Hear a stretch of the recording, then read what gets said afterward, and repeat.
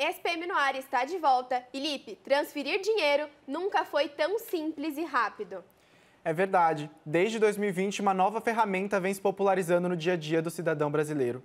Eu, particularmente, gosto e uso bastante. Eu também, Lipe. Mas para aqueles que não estão familiarizados, temos uma reportagem da Paola Bétega para falar mais sobre o assunto.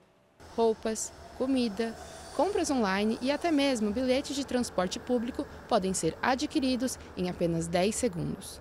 Isso é possível por conta do Pix, um modo de transferência monetária e pagamento eletrônico instantâneo em real brasileiro oferecido pelo Banco Central do Brasil, tanto para pessoas físicas quanto jurídicas. Desenvolvido em 2018 durante o governo de Michel Temer e instituído em 2020 durante o governo de Jair Bolsonaro, o Pix já registra mais de 153 milhões de usuários cadastrados, sendo 92% pessoas físicas, se tornando em 2022 o principal instrumento do mercado, com 29% das transações anuais. Esse crescimento não é à toa. Vantagens como a possibilidade de fazer pagamentos de qualquer valor, a qualquer horário, através de um sistema com segurança garantida, tornam esse meio de pagamento mais atrativo, tanto para empresas quanto para famílias brasileiras. Com o Pix eu posso fazer essas transferências a qualquer hora do dia, sete dias por semana, e isso aí tornou minha vida muito mais prática também, para mim e para minhas filhas.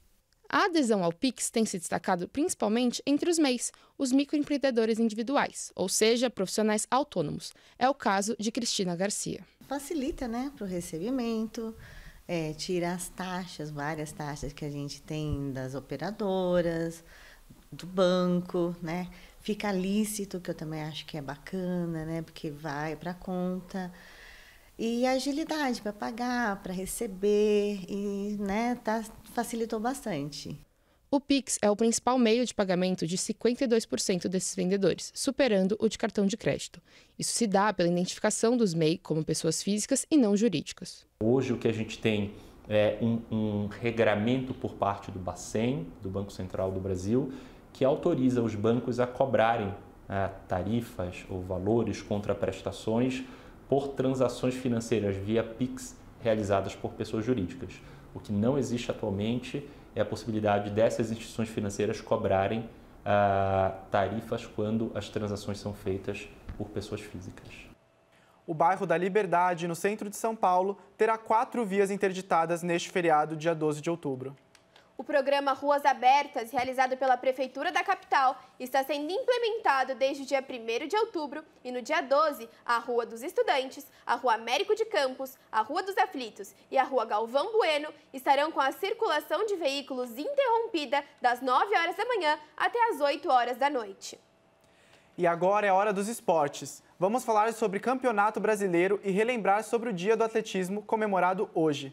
Para entender melhor sobre a 27ª rodada do Campeonato Brasileiro e outras notícias, vamos entrar agora com mais detalhes com a nossa colunista Larissa Reis. Boa tarde, Larissa. Boa tarde, Lipe. Boa tarde, Júlia. Hoje, dia 9 de outubro, é o dia do atletismo, que é considerado um esporte base. Isso porque utiliza os movimentos primários do ser humano, como correr, saltar, andar e arremessar. Então aqui fica a nossa homenagem a todos os nossos atletas do atletismo, que é praticado no nosso país desde 1850. Agora falando de futebol, nessa semana acontece a rodada do 27ª rodada do Campeonato Brasileiro no dia 18 e 19. O São Paulo vem de um empate contra o Vasco e vai enfrentar o Goiás no estádio da Serrinha às 8 horas. Já o Corinthians, recém-eliminado da Copa Sul-Americana, vem de um empate no Campeonato Brasileiro e vai enfrentar o Fluminense no Maracanã às 8h30 no dia 18, quarta-feira. E para finalizar, o Palmeiras, que foi eliminado na Libertadores, vem de uma derrota no Clássico da Saudade. É, e no próximo jogo vai enfrentar o Atlético Mineiro em casa, também nas, às 7 horas na quinta-feira. É com vocês.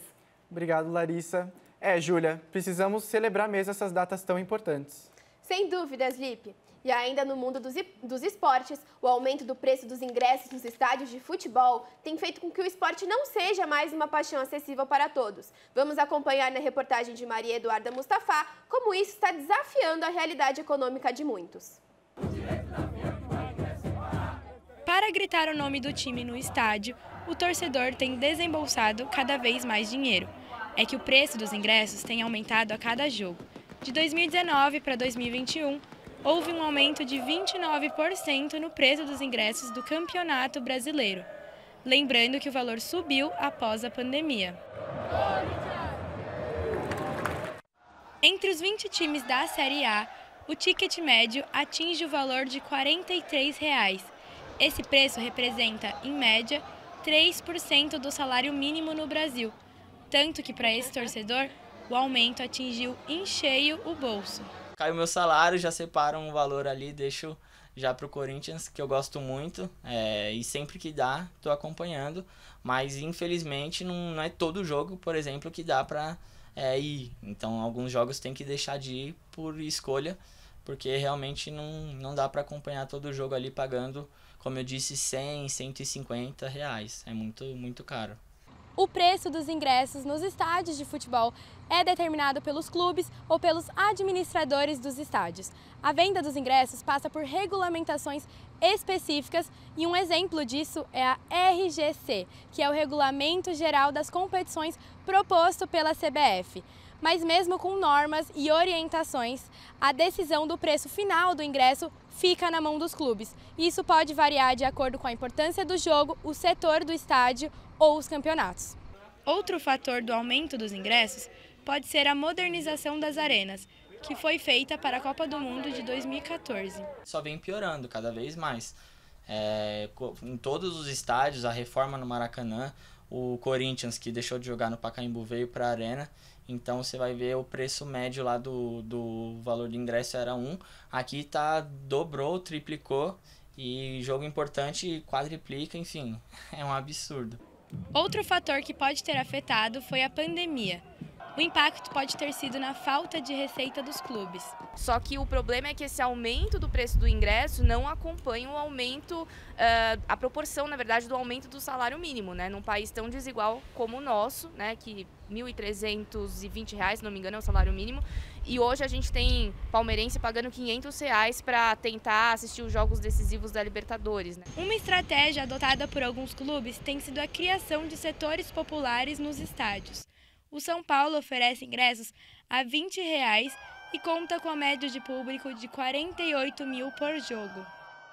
Uma emocionante competição esportiva está acontecendo na capital.